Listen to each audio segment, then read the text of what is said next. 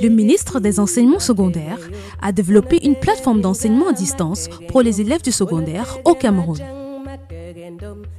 Une série d'enseignements dispensés par les enseignants de qualité pour les élèves du secondaire. Apprendre n'a jamais été aussi simple avec l'enseignement à distance. Une initiative du ministère des Enseignements secondaires sous la supervision du professeur Nalova Lyonga en collaboration avec le ministère des Postes et Télécommunications, la CAMTEL, la CRTV et l'UNESCO. Nous introduisons l'enseignement à distance comme une autre méthode d'enseignement et d'apprentissage qui diffère du cadre de classe traditionnel auquel vous êtes habitué. Dans le mode d'enseignement à distance, vous n'êtes pas avec l'enseignant en personne, alors prenez votre temps, détendez-vous, écoutez l'enseignant, prenez des notes et visitez les liens suivants pour toute question ou réponse à vos préoccupations. Allez-y à votre rythme. La solution du Cameroun contre le Covid-19 est au-delà. Professeur Nalova Lyonga, ministre des Enseignements secondaires. Bienvenue à cette séance d'apprentissage. Je suis Dathieu Ina, enseignante de mathématiques, votre tutrice pour les cours de mathématiques à classe de troisième. Précédemment, dans le cadre de ces cours, nous avons vu comment calculer les coordonnées d'un vecteur à partir des coordonnées de deux points. À la fin de la leçon précédente, nous avons donné un devoir. Nous allons commencer la séance d'aujourd'hui par la correction du devoir laissé précédemment. Dans un repère OIJ du plan, on donne A de coordonnées moins 1, 1, B de coordonnées 3K moins 5 demi, M de coordonnées moins 5K 3. Première question, calculons les coordonnées de AB, puis déterminons les coordonnées du point N tel que MN est égal à AB.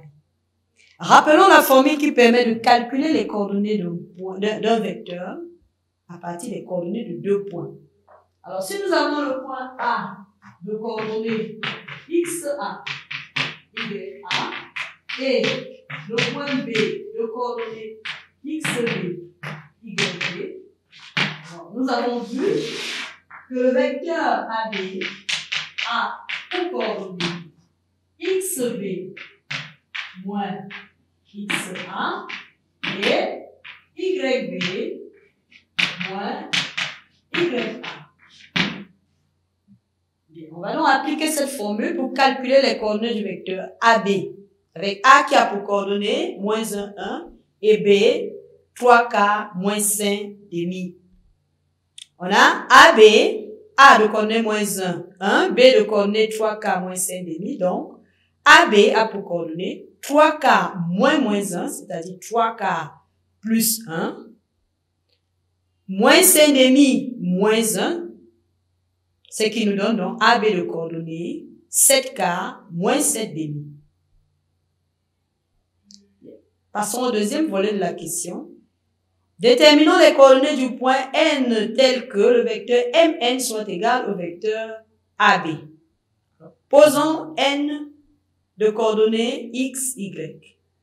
le vecteur mn a pour coordonnées x moins moins 5k, c'est-à-dire x plus 5k, et pour ordonner y moins 3. mn égale à ab signifie que l'abscisse de mn est égal à l'abscisse de ab, l'ordonnée de mn est égal à l'ordonnée de ab.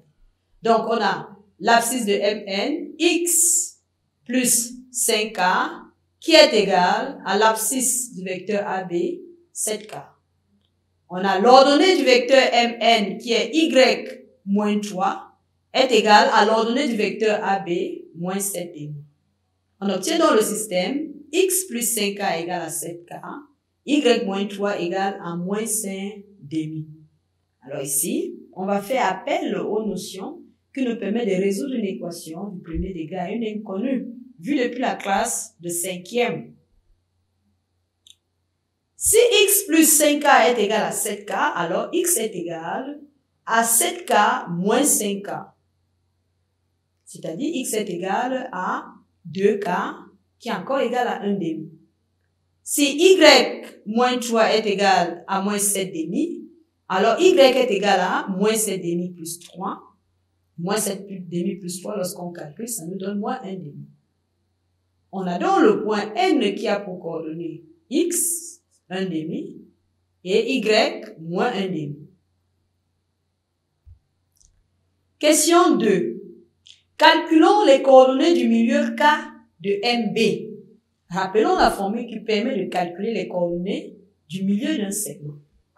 Donc, si nous avons X de coordonnées X A, Y A et B de coordonnées X B, Y B, I, milieu de AB, milieu de segment AB, signifie que le point I a pour coordonnées XA plus XB, XA plus XB divisé par 2 et pour ordonner YA plus YB divisé par 2. C'est cette formule qu'on va appliquer ici pour pouvoir calculer les coordonnées du point K milieu de MB. M a pour coordonnées moins 5K 3, B a pour coordonnées 3K moins 5 Donc K, le milieu de MB, a pour coordonnées moins 5K plus 3K, le tout divisé par 2, 3 plus moins 5 demi, le tout divisé par 2. En effectuant ces deux opérations, on obtient que le point K a pour coordonnées moins 1 quart et 1 quart. Passons à présent à la question 3 du devoir. Calculons les coordonnées du vecteur 2 septièmes de AB moins 2 AM. Alors, pour calculer les coordonnées du vecteur 2 septièmes de AB moins 2 AM, il faut d'abord calculer les coordonnées du vecteur 2 septièmes de AB et les coordonnées du vecteur moins 2 AM. Rappelons que, à la leçon précédente, nous avons vu que si le vecteur AB a pour coordonnées x, y et k est un nombre réel, k différent de 0, alors on a le vecteur k AB qui a pour coordonnées k fois x, k fois y. On multiplie l'abscisse par k et l'ordonnée par k. C'est ce qu'on va appliquer ici pour pouvoir calculer les coordonnées du vecteur 2 septièmes de AB. AB a pour coordonnées 1 demi moins 1. Alors, 2 septièmes, AB autant pour moi pour coordonnées 7K moins 7 demi. Alors, 2 septièmes de AB, lorsqu'on multiplie 7K par 2 septièmes, on obtient 1 demi. Lorsqu'on multiplie moins 7 demi par 2 septièmes, on obtient moins 1. Donc, le vecteur 2 septièmes de AB a pour coordonnées 1 demi moins 1. En ce qui concerne les coordonnées du vecteur moins 2 à m, il est d'abord important que nous puissions calculer les coordonnées. Il est nécessaire que nous puissions calculer les coordonnées du vecteur AM, qui ne sont pas données. Alors, A a pour coordonnées moins 1, 1, et M a pour coordonnées 5K, moins 5K, 3.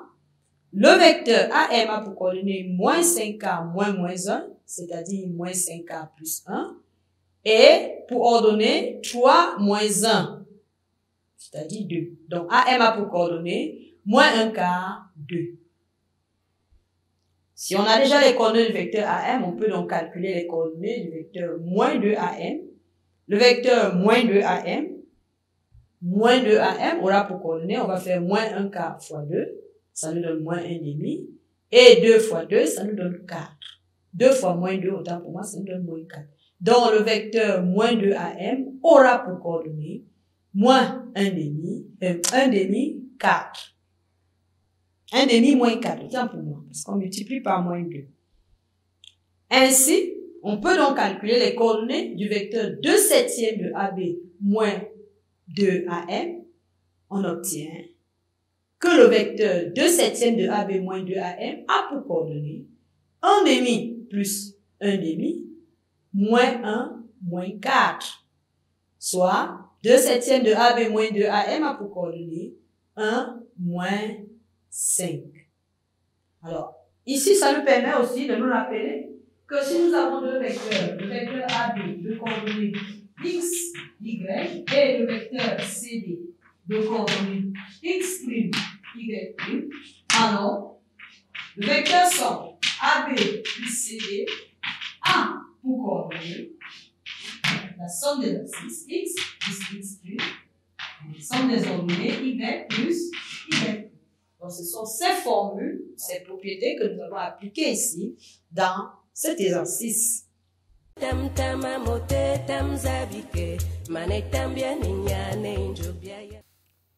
La correction du devoir étant achevée, nous entrons dans notre leçon du jour qui s'intitule Distance entre deux points de coordonnées donnés. Voici le plan de notre leçon. Nous allons donner l'objectif de la leçon, puis nous verrons quelques prérequis. Ensuite, nous aurons une situation problème suivie d'une activité d'apprentissage. Puis nous ferons une, un exercice d'application. Et avant de nous séparer, on va laisser un devoir. Parlant de l'objectif de cette leçon, il est donc question pour nous de savoir calculer la distance entre deux points donnés par leurs coordonnées dans un repère autonomé à la fin de cette leçon. Donc, nous devons être capables à la fin de cette leçon de calculer la distance entre deux points donnés par leurs coordonnées dans un repère autonome.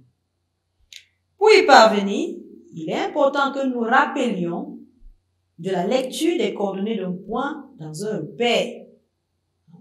Savoir lire les coordonnées d'un point dans un repère revient aussi à savoir placer un point de coordonnées données dans un repère. On doit également se rappeler de la propriété directe de Pythagore. Alors, que dit la propriété directe de Pythagore? On se rappelle que la propriété directe de Pythagore peut s'énoncer de cette manière.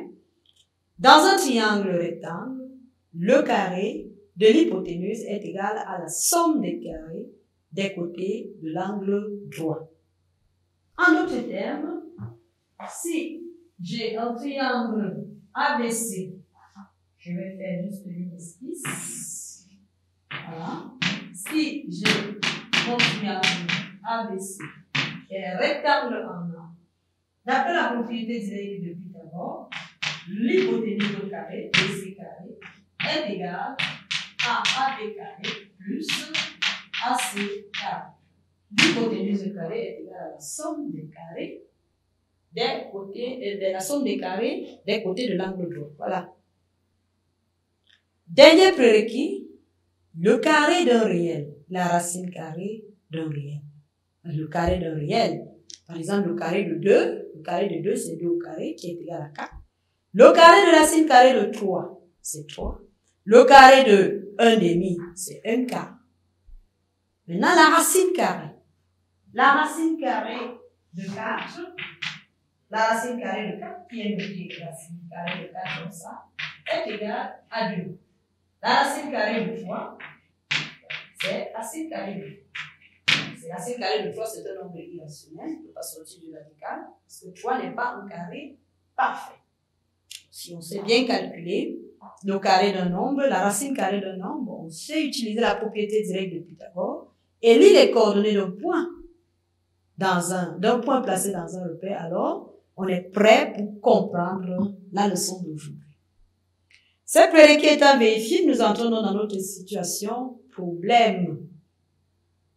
Le chef d'une entreprise veut payer une indemnité de transport aux employés dont la distance entre le domicile et l'entreprise est supérieure ou égale à 10 km. On a une image là qui nous présente une entreprise et le domicile d'un employé. Continuons. Monsieur Faupas, l'un des employés de cette entreprise veut savoir s'il peut bénéficier de cette indemnité. Mais il ne dispose que d'un plan de localisation donnant les positions de son domicile et de l'entreprise par rapport à deux routes perpendiculaires. Monsieur Faupas est un employé de cette entreprise.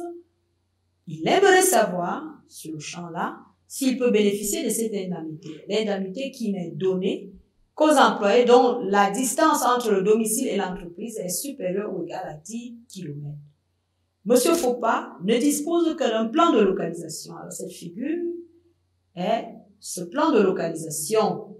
Cette figure, ce plan de localisation donne la distance qui sépare l'entreprise de deux droites perpendiculaires et les distances qui séparent la maison de M. Faupas des deux droites perpendiculaires. Question. Est-ce que ce plan de localisation peut permettre à M. Faupas de déterminer la distance entre son domicile et l'entreprise, afin qu'il puisse savoir s'il peut bénéficier de l'indemnité de transport. On va revenir rapidement, on va relire rapidement la situation pour bien la comprendre. Le chef d'une entreprise veut payer une indemnité de transport aux employés dont la distance entre le domicile et l'entreprise est supérieure ou égale à 10 km. Monsieur Foupa, l'un des employés de cette entreprise, veut savoir s'il peut bénéficier de cette indemnité. Mais il ne dispose que d'un plan de localisation donnant les positions de son domicile et de l'entreprise par rapport à deux routes perpendiculaires. Et nous avons le plan. L'image est donné. Alors, Monsieur Faupas peut-il, grâce à ce plan de localisation, déterminer la, la distance entre son domicile et l'entreprise? Pour répondre à cette question, nous allons d'abord assimiler les deux routes principales à deux axes ou à deux droites que nous allons considérer comme les axes d'un repère du plan. Alors, on va assimiler cette route-ci à l'axe des abscisses et cette autre route à l'axe des ordonnées. Les deux axes sont perpendiculaires. On est ici dans le cadre d'un repère orthogonal. Bien. Nous allons également assimiler l'entreprise au point A et la maison de M. Faupas au point B. Ça nous permet donc de d'interpréter cette situation en langage mathématique.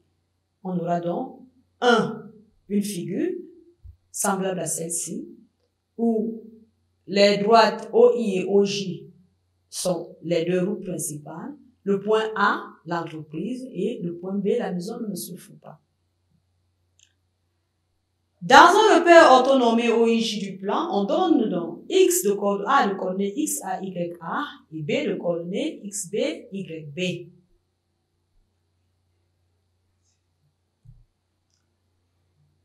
Première question. Construis la parallèle à OI passant par A et la parallèle à OJ passant par B. Ces deux droites se coupent en H. Marque le point H.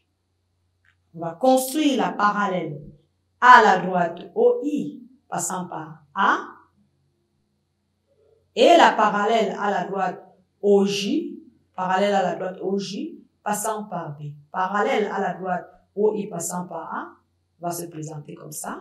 La parallèle à la droite OJ passant par B va se placer comme ça et nous aurons donc un point d'intersection des deux parallèles, ce qui nous permettra d'obtenir cette figure.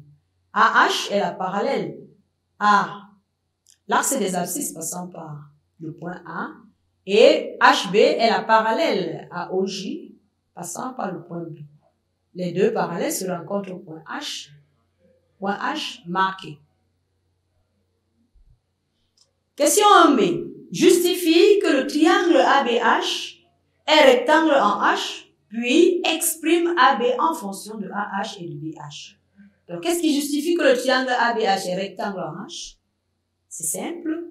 Puisque AH est parallèle à OI et HB est parallèle à OJ, et que les droites OI et OJ sont perpendiculaires, alors les droites AH et HB sont également perpendiculaires.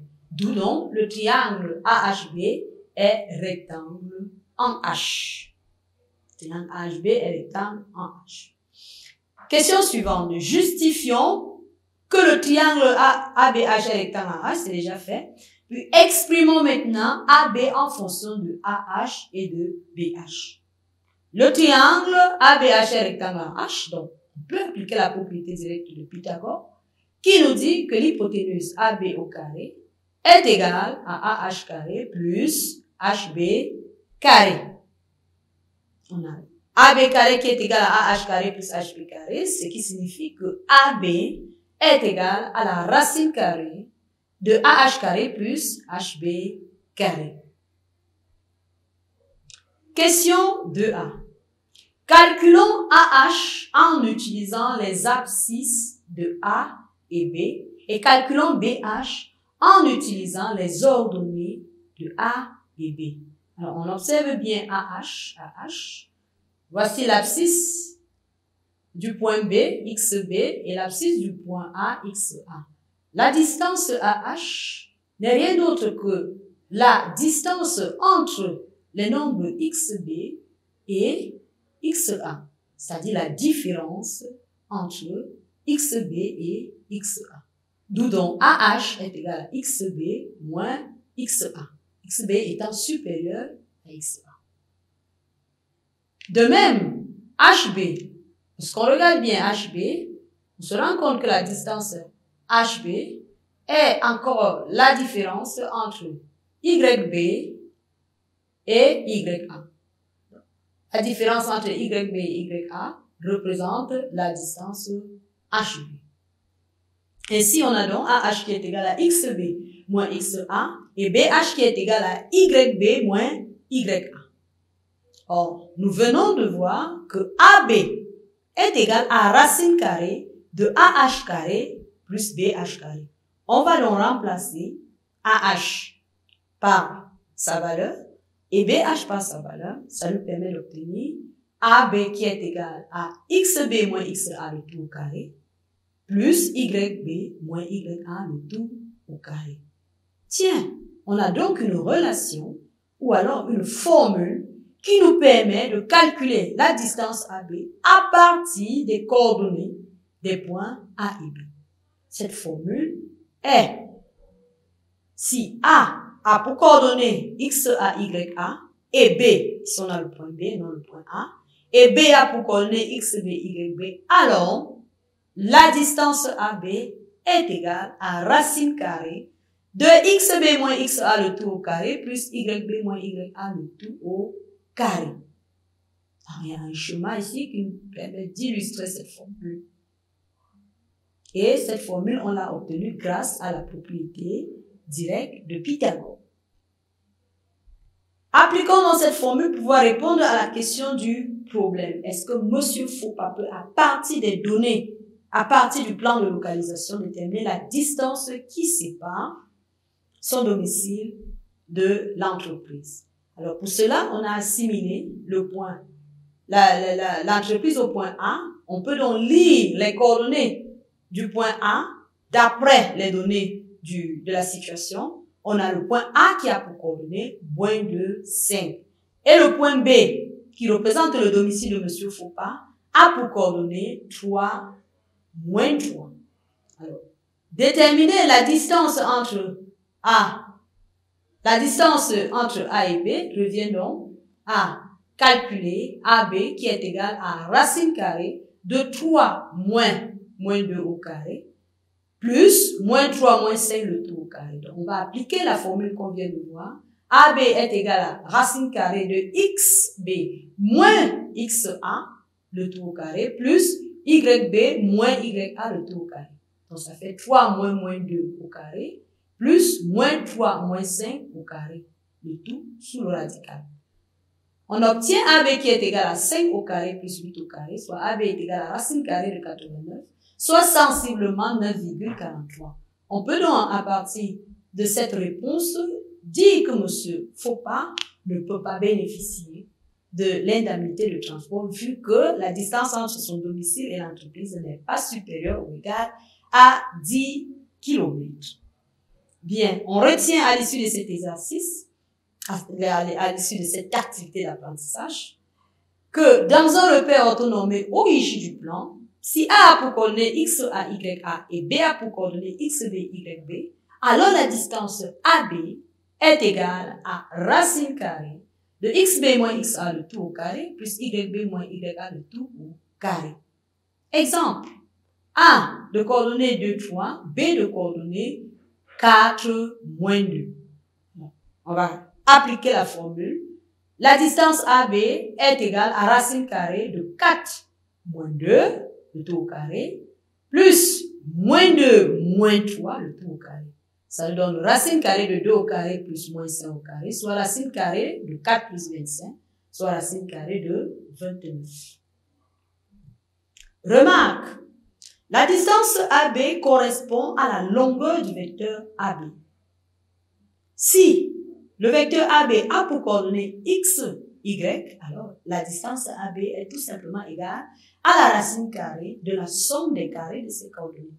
Donc AB sera égal à la racine carrée de x carré plus y au carré. C'est pour dire que si nous avons déjà les coordonnées d'un vecteur et qu'on veut la longueur de ce vecteur, alors on va utiliser tout simplement la racine carrée des carrés des coordonnées de ce vecteur. Exemple, AB a pour coordonnée 5 moins 7, alors le vecteur, la distance AB est égale à la racine carrée de 5 au carré plus moins 7 au carré. Ce qui est égal à racine carrée de 25 plus 49, soit racine carrée de 64. De 74, autant pour. Bien, passons maintenant à l'exercice d'application pour nous rassurer que nous avons compris notre leçon. Dans un repère, dans un repère orthonomé, précisons, parce qu'ici, dans cette distance, cette formule n'est valable que lorsque nous sommes dans un repère orthonomé. Donc, dans un repère orthonomé OIJ du plan, on donne les points M de coordonnées 3 moins 2, N de coordonnées moins 5, 7, R de coordonnées moins 1 demi racine carrée de 3, et S de coordonnées 3 demi moins racine carrée de 3. Première question, calculons calcul, c'est écrit là, calcule les distances MN et RS. B, calcule les coordonnées de MN plus RS, puis calcule la longueur du vecteur MN plus RS. On va faire cette activité d'apprentissage au tableau. On va appliquer tout ce que nous avons vu dans cette leçon.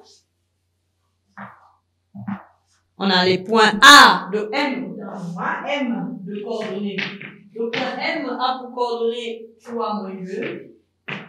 Et le point N a pour coordonnées moins 5, 7. On peut calculer la distance Mn, on applique la formule. Mn est égal à racine carrée.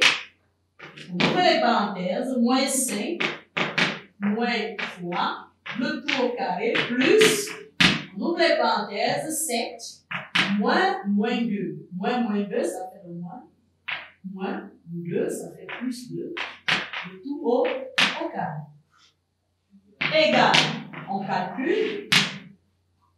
Règle de priorité, on calcule d'abord ce qui se trouve dans les parenthèses. Ça fait racine carrée de moins 8 au carré, plus 9 au carré. Ce qui est égal à Racine carrée de moins 8 au carré, c'est 64, plus 9 au carré, 82.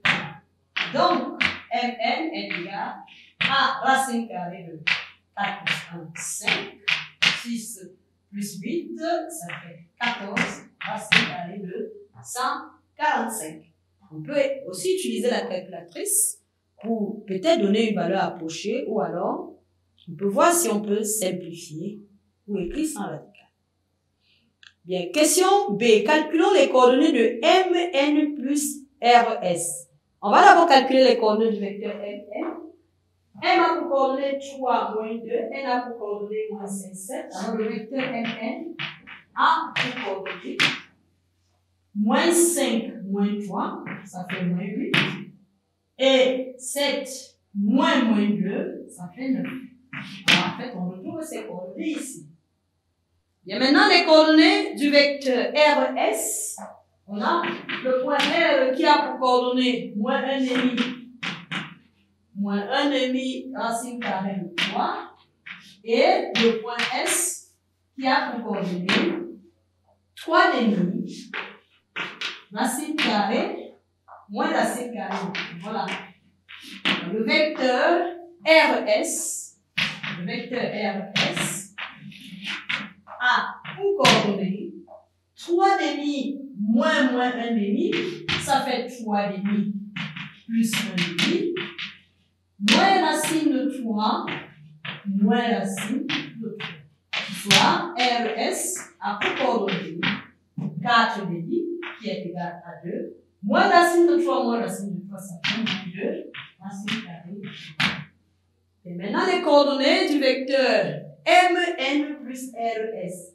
Vecteur MN plus RS. On va faire la somme des coordonnées. C'est-à-dire moins 8 plus 2, ça fait moins 6. Et 9 plus moins 2 racine de 3, ça fait 9 moins 2 racine de 3. Maintenant, si on veut déterminer la longueur du vecteur MN, c'est simple.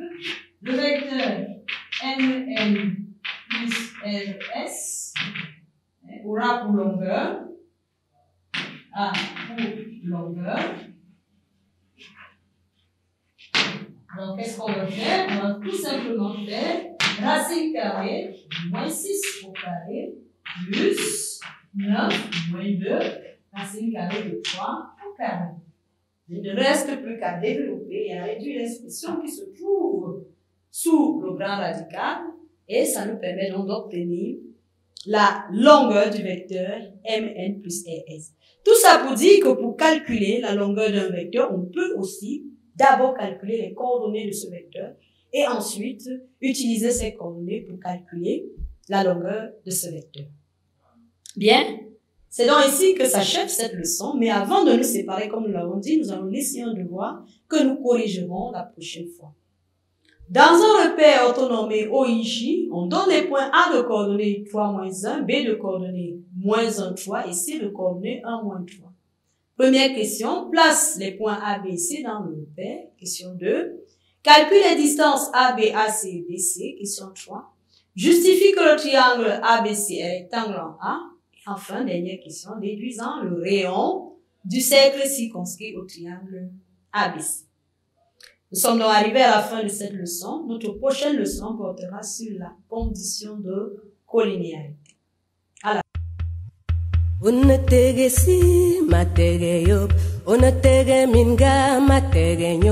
Unotege majang makegendom Manetambia ninyane injubyayen Ngani bana, matege mot Ngani lakiri wategendong Esokina bia dinkido. Manetambia ninyane injubyayen Tamtama mote, tamzabike. Tamtama tonge, tamzabike. Tamtamtama mote, tamzabike. Manetambia ninyane injubyayen